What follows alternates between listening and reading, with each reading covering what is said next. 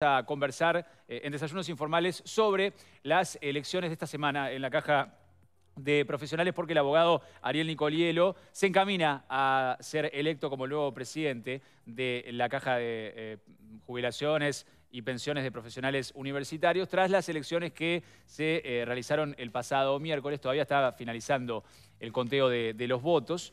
y bueno, unos comicios que, lo hemos dicho, ¿no? estuvieron marcados eh, por eh, la crítica situación económica que atraviesa desde hace muchos años la Caja de Profesionales, una, una campaña que se dio en un ámbito también bastante, bastante tenso. Y bueno, y si se mantienen estos resultados, eh, la lista 54 será la, ganadora de estos, de estos comicios, obteniendo dos de los cuatro cargos y además, bueno, el presidente del directorio. Vamos a hablar sobre cuáles son las propuestas, los planes, la situación actual real de la caja de profesionales, además en el, ámbito de la discusión que se está dando a nivel nacional para la reforma de la seguridad social. Nos acompaña el abogado Ariel Nicolielo, quien seguramente, si se mantiene la tendencia, será electo nuevo presidente del directorio de la caja de profesionales. Bienvenido.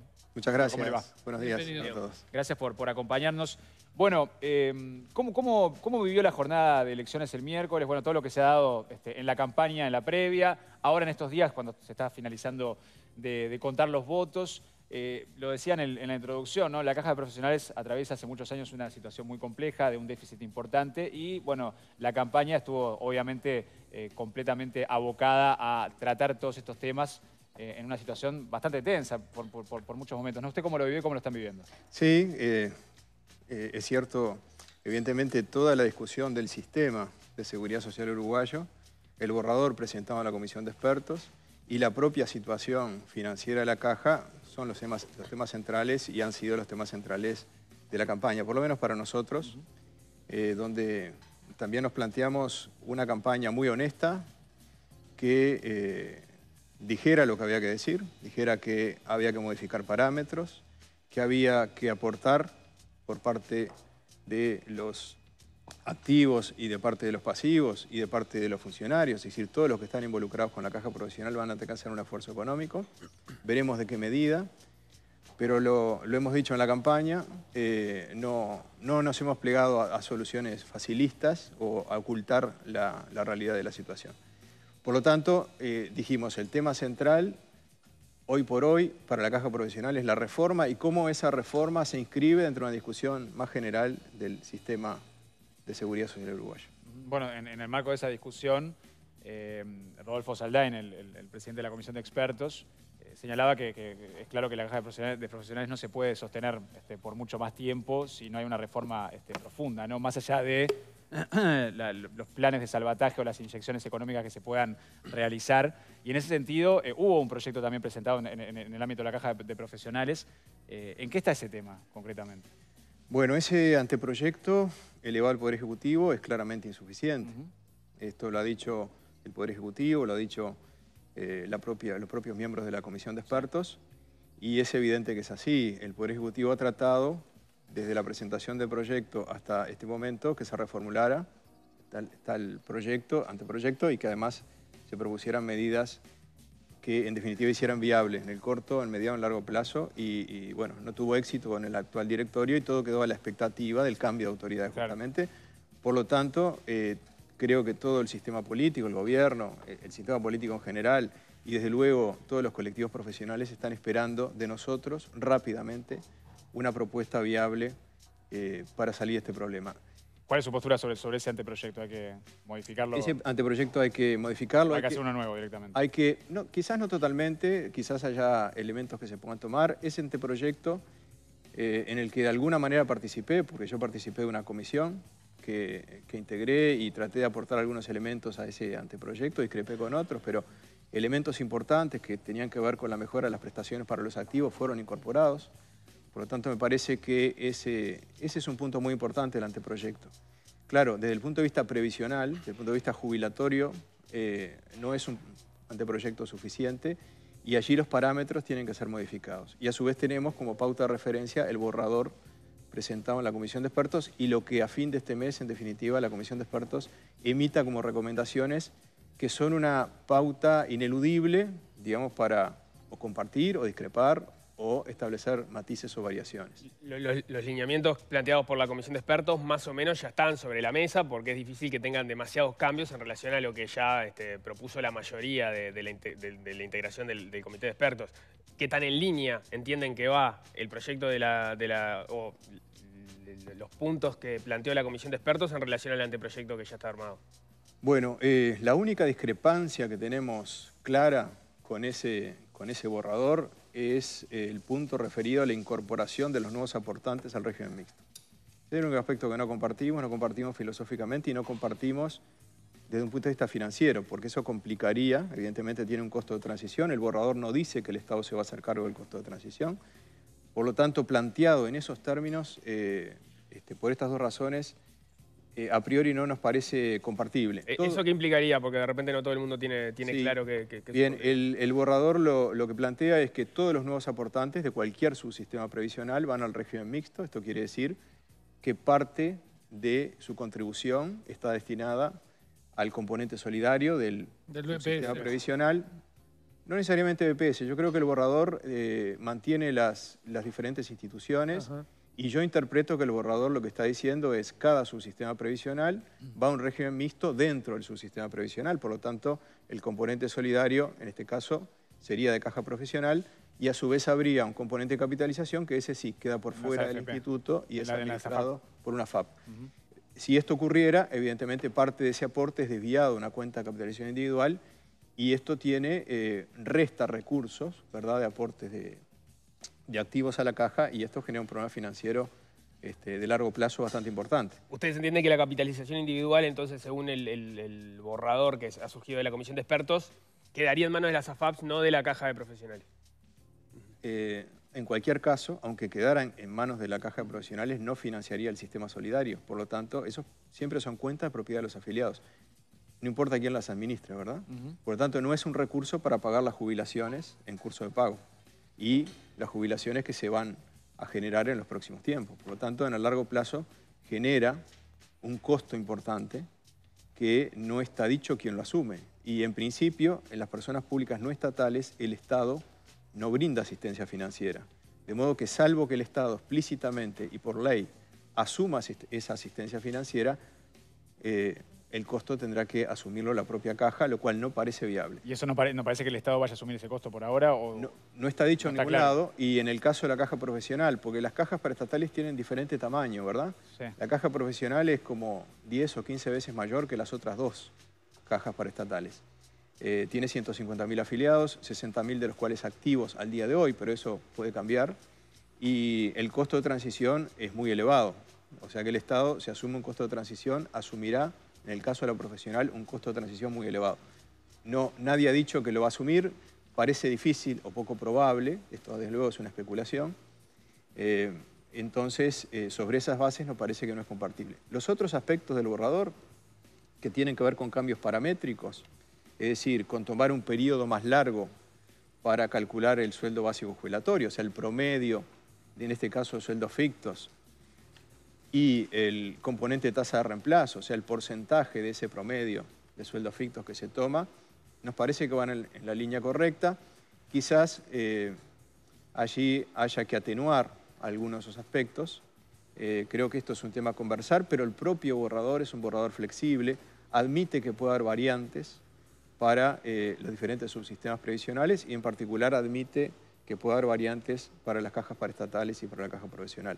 Por lo tanto, creemos que en los aspectos paramétricos vamos en líneas coincidentes, quizás no con la misma profundidad que se plantea en el borrador, pero nos parece que es un tema conversable y a trabajar. Ya, ya profundizamos en, eso, que es parte de la discusión central, pero antes me parece que, está bueno aclarar bien qué fue lo que sucedió en la, elección y en qué punto estamos ahora, donde todavía quedan 1.500 votos por, por contar o en el entorno de 1.500 votos por contar. El directorio de la Caja de Profesionales está compuesto por siete miembros, dos de los cuales son este, representantes del Poder Ejecutivo, no están en juego en esta, en esta elección, y se eligen los otros cinco miembros, cuatro son por los activos, uno por eh, los pasivos. Hasta donde yo entiendo, usted me puede corregir, eh, de mantenerse la tendencia eh, que, se ha presentado en los votos que ya se contabilizaron, ustedes obtendrían dos, miembros, usted este, sería el presidente, y después de los activos hay dos que se repartirían en, los otros dos lemas que estaban concursando y a su vez está el miembro de los pasivos que eh, tampoco iría al lema de ustedes, iría a alguno de los otros lemas que estaban compitiendo con ustedes. Con lo cual, según las cuentas que yo saco, ustedes quedarían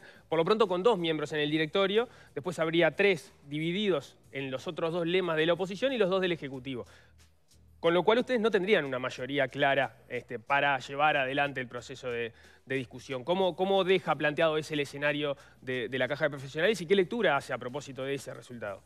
Bueno, ese es el desafío. Evidentemente no tenemos la mayoría. Nosotros eh, buscábamos una mayoría contundente en esta elección, no la logramos. Eh, fue una elección muy competitiva y por lo tanto este, surge un directorio bastante fragmentado desde el punto de vista de las de las corrientes de pensamiento y de los lemas que van a estar representados.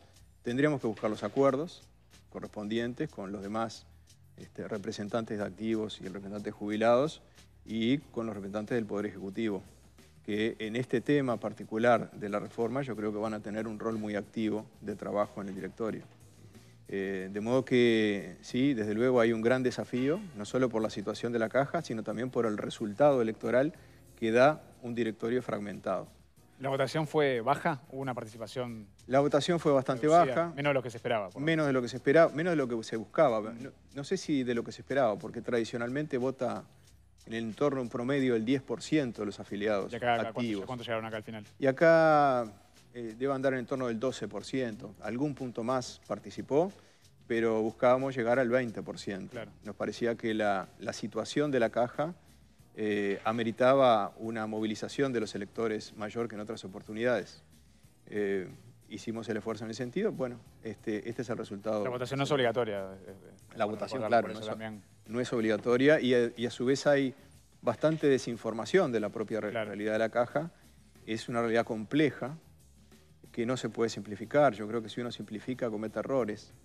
Y cuando hay una realidad compleja en cualquier ámbito de la vida, la tendencia es a la simplificación. Y la simplificación siempre es el error.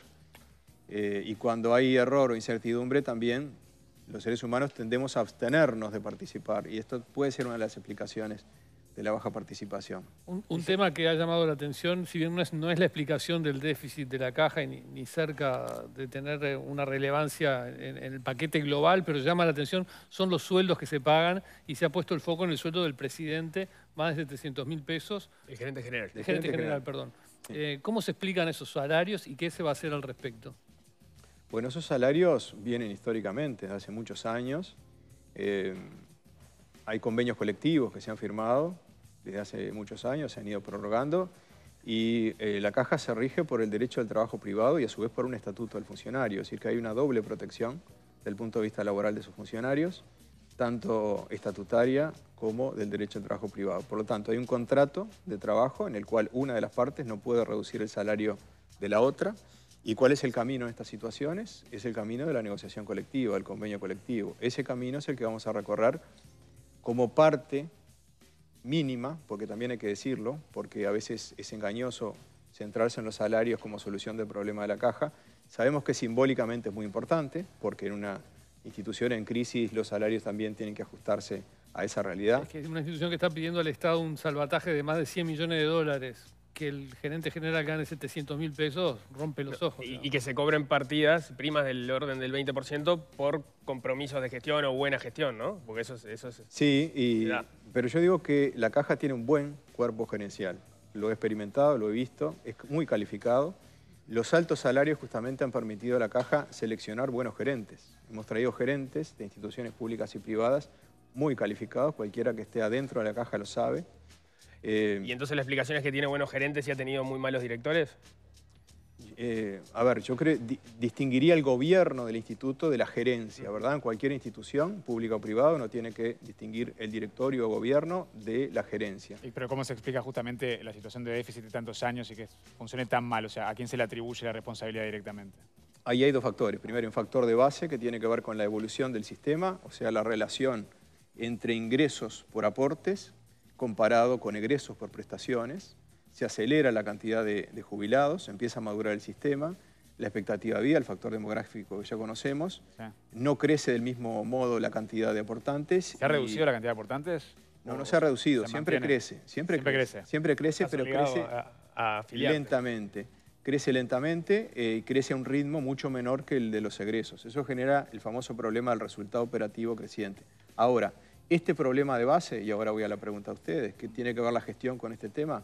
Tiene que ver en que justamente si uno se encuentra con este problema y está en el gobierno de la caja, lo que tiene que hacer es rápidamente y oportunamente adoptar las medidas correspondientes, que pasan por una reforma del sistema y las medidas internas que se puedan tomar.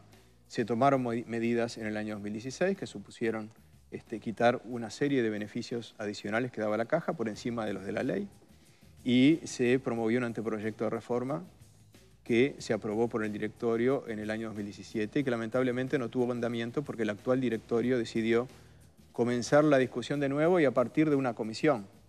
El anterior anteproyecto lo había discutido el propio directorio, eh, pero cuando uno pasa el tema a una comisión, tiene la ventaja de ser ampliamente representativo, escuchar muchas voces, pero también de la demora. Por lo tanto, partiendo de cero y por el método de la comisión, estuvo tres años para presentar un anteproyecto que cuando lo presenta es un anteproyecto ya insuficiente.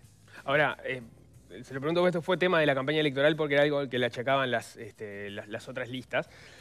Eh, la historia, a riesgo de simplificar, y usted me puede corregir todo lo que yo diga que, está mal, es la Caja de Profesionales en 2004 probó una serie de beneficios adicionales que implicaban, entre otros beneficios, por ejemplo, pagarle a los jubilados una tasa de reemplazo del orden del 60% cuando en realidad por ley estaba establecido el 50%.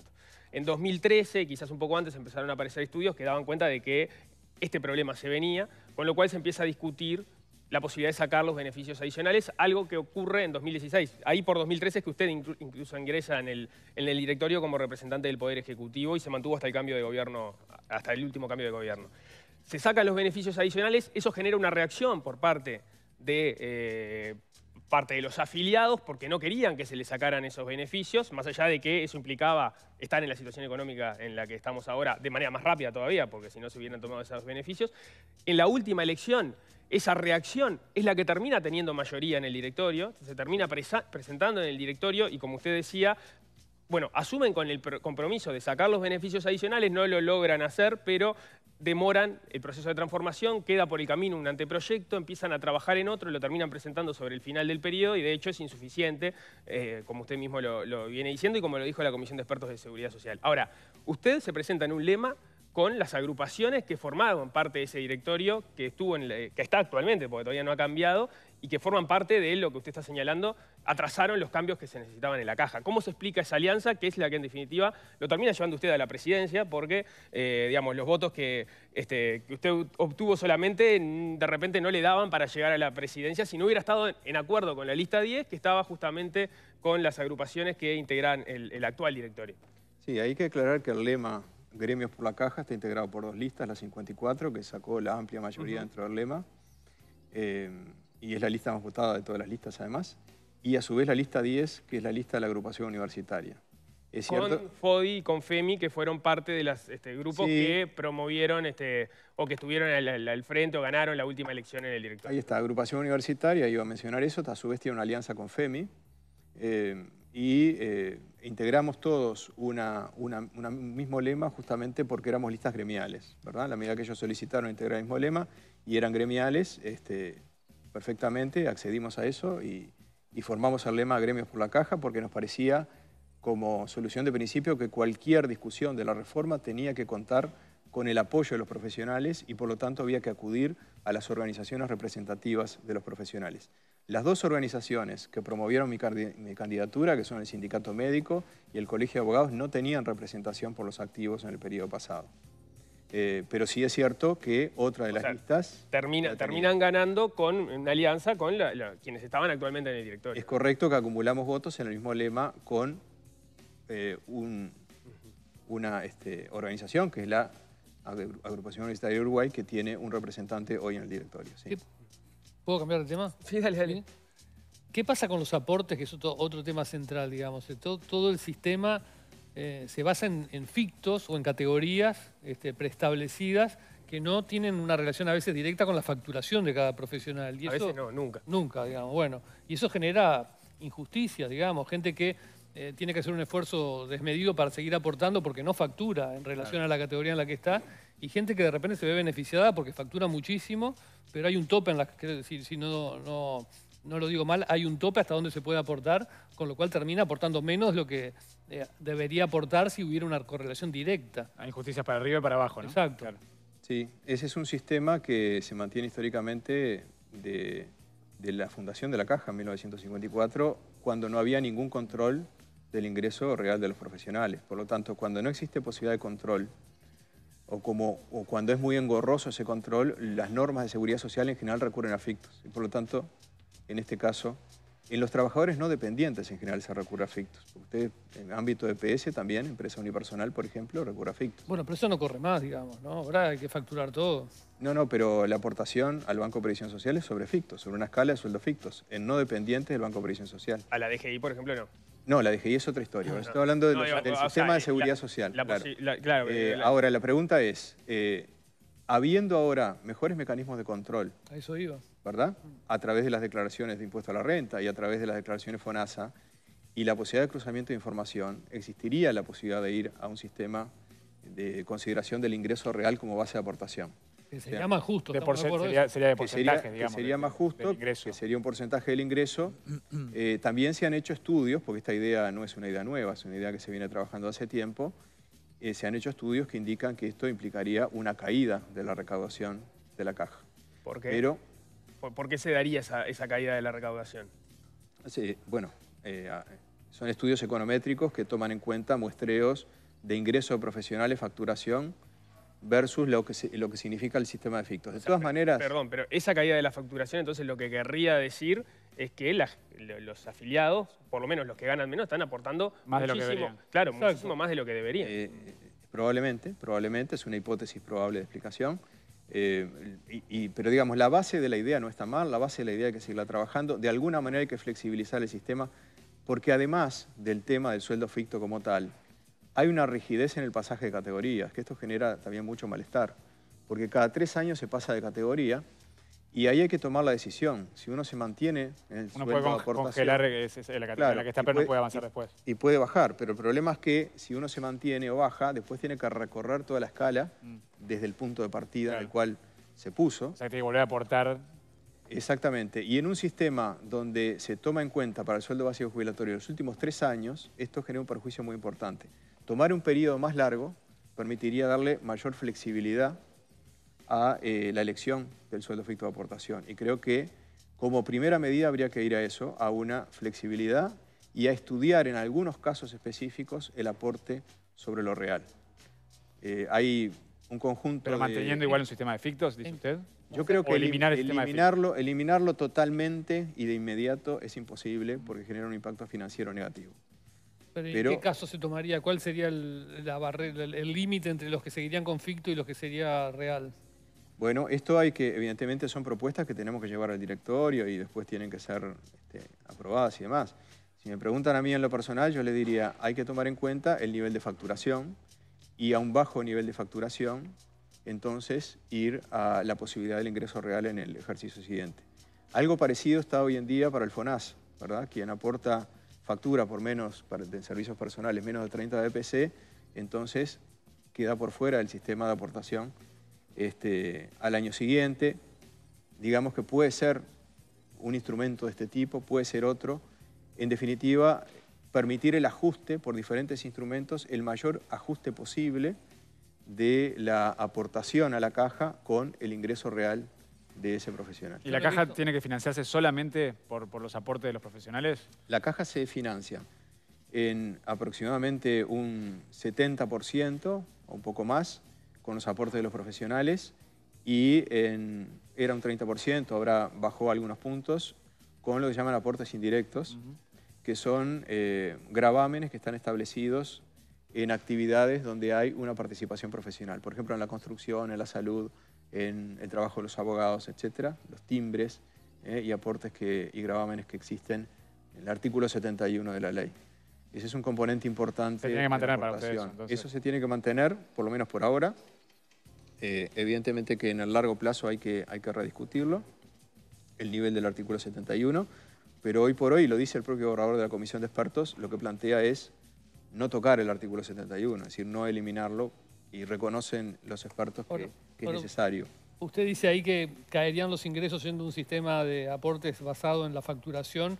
Eh, no sé si se toma en cuenta que no, no pasan carreras que, es necesario el título para ejercerla, como por ejemplo la medicina o la arquitectura, pero en algunas carreras que el título no es necesario para trabajar, por ejemplo en ciencia de la comunicación yo lo he visto, gente que prefiere no licenciarse porque cae en una profesión que de repente el ingreso al mercado es con salarios muy bajos o con facturación muy, muy escasa en un primer momento, si se licencia cae en el sistema de fictos y tiene que aportar por cifras que lo exceden totalmente y esa gente prefiere no tener un título. Es decir, quizás en ese, en ese cálculo que hacen no toman en cuenta la gente que de repente ingresaría si la facturación fuera real por lo que se factura. Es correcto, es uno de los efectos perversos que tiene este sistema, ¿verdad? Ese es uno. El otro es eh, las enormes declaraciones de no ejercicio, particularmente en algunas profesiones, en las nuevas profesiones que fueron incorporadas en 2006, licenciaturas básicamente, todo un conjunto de licenciaturas, eh, donde el nivel, el porcentaje de declaración de no ejercicio es muy alto. Si uno generara un sistema de aportación más adecuado, más flexible, más viable, aumentaríamos las declaraciones de ejercicio en ese ámbito y eso favorecería a la propia caja. Por tanto, es una línea de trabajo indudable para, para la reforma que se está discutiendo. Lo que pasa es que parece difícil que eso se pueda lograr en la medida que no se vaya a un sistema que reconozca el aporte real, ¿no? Es probable, es probable. Yo lo, único que digo es que pasar totalmente de los fictos al ingreso real para todos los profesionales generaría un impacto financiero negativo para la caja y no lo veo viable, ¿verdad? Entonces uno tiene que compatibilizar estas dos cosas. Empezar a hilar más fino, hacer una sintonía más fina de los instrumentos con imaginación previendo este, la adecuación a las diferentes realidades, porque hay una gran heterogeneidad en la realidad de los profesionales. Incluso modificar los montos de los fictos, ¿no? Incluso modificar los montos de los fictos, la escala de categoría de los fictos, la flexibilidad del pasaje o no pasaje de categoría, mm. la posibilidad de salir temporalmente, ¿verdad? Porque este es otro problema. Cuando, cuando viene eh, una crisis como la que derivó de la pandemia, muchos profesionales pasan directamente al no ejercicio porque no pueden eh, eh, seguir pagando el aporte de la caja profesional. Profesionales que no tengan una relación de dependencia laboral, ¿no? Que no tengan una relación de dependencia. No pueden seguir pagando el aporte profesional, pero si bajan de, categoría, esto implica que después tienen que retomar desde una categoría baja. Entonces la única salida a la cual están forzados es, es el no ejercicio y esto de luego es negativo para la caja. O sea, la rigidez del sistema se vuelve contra el profesional, pero contra la propia caja también. Claro. Ahora, em, yo entiendo que ningún este, afiliado va a ganar las elecciones en la caja de profesionales diciendo que hay que sacar la caja de profesionales, ¿no? Pero hoy en día, ¿cuál es el sentido de la caja? Lo entiendo perfectamente en el 54, cuando eh, era la única forma que tenían los profesionales organizándose de generar un sistema de, seguridad social y, poder acceder a una jubilación. Ahora, hoy en día, eh, eh, que, los profesionales vayan a este, aporten en un sistema distinto, ¿qué, ventajas tiene para la sociedad en su conjunto? Me lo pienso este, en estos términos. De alguna forma, la caja de profesionales le, secuestra los mejores salarios al sistema previsional, ¿no? porque los profesionales son el 10% de la población más formada, son quienes en, en, términos comparativos con el resto de la población ganan mejor. Bueno, no aportan al sistema general, aportan en un sistema propio.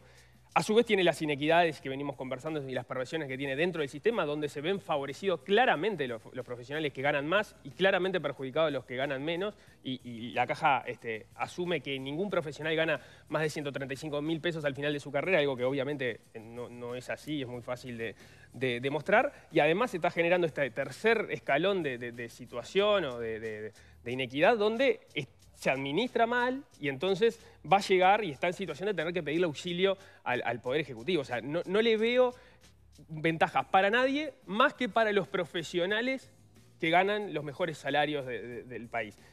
¿Cuál, este, ¿Cuál, es el sentido entonces hoy de, la caja y no entrar en un sistema de transición que nos lleve a que todos aporten al mismo lugar? Bueno, eh, primero hay que tener en cuenta que cerca de las dos terceras partes de los profesionales aportantes a la caja profesional a su vez aportan al BPS por alguna actividad dependiente, al BPS o a otros su sistema previsional. Eso por un lado. Por otro lado... O sea, ellos no tenían problema porque ya tendrían una jubilación. claro, ahí está. Se aportan de manera voluntaria eh, porque quieren acceder a una segunda jubilación. Esa es otra situación, ¿verdad? Está el que efectivamente trabaja en ambos sistemas, o sea, amparado por BPS, amparado por caja profesional, y también está cerca de un 45% que directamente no trabaja en forma independiente, pero tiene un sistema complementario en la caja profesional en la medida que pueda pagarlo. Claro, por, es por eso digo, o sea, salvo eh, para esas personas que ganan más, porque si pueden aportar a la caja de manera voluntaria es porque tienen un sobresueldo o un, este, un excedente que les permite hacer eso, no veo la ventaja para el resto de las personas. Bueno, pero ahí ya tenemos un 45%. Si desaparece la caja profesional... el 45% más favorecido, ¿no? Bueno, pero si desaparece la caja profesional, ese 45%, ¿dónde hace ese aporte complementario? podría ir a un sistema privado. Segunda jubilación.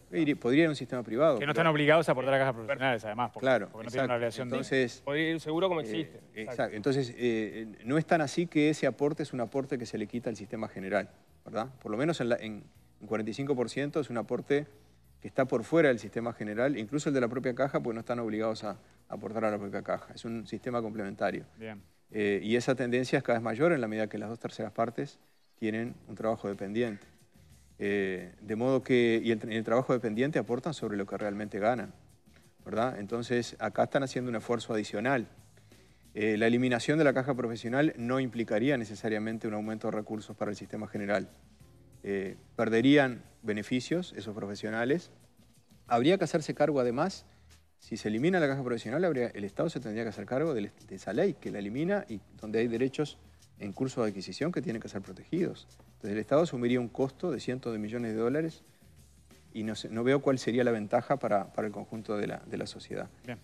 Queda claro. Eh, Ariel eh, Nicolino, muchas gracias por acompañarnos. Veremos obviamente qué, pasa este, en, estos próximos tiempos con, bueno, con, el nuevo directorio y con, lo que se pretenda reformar en la caja de profesionales. Y con el conteo final de los votos. Bueno, sí, claro, para ver si, se, confirma, ¿no?